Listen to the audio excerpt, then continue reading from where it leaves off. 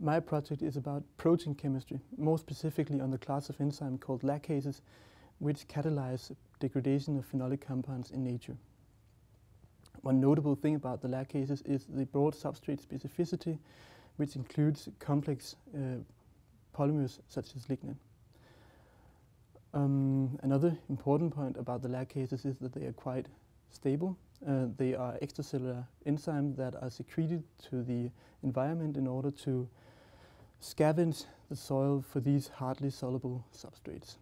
This makes the laccases more stable than your average protein, uh, which is exemplified by their thermostability. Many laccases can function at up to 60 degrees or even higher.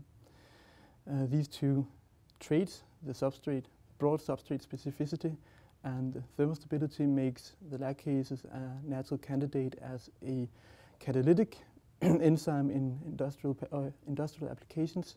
However, despite three decades of intense research, only a few such uh, applications has been commercialized.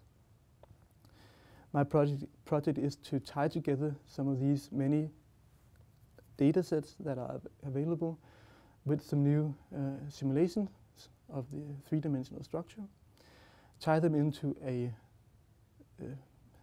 statistical model that will help to predict stability of the laccase directly from the sequence of amino acids. Um, with this model, I will hopefully be able to identify new mutants of laccases with enhanced thermostability. And as a proof of concept, I will turn to the laboratory to produce these laccases and characterize them.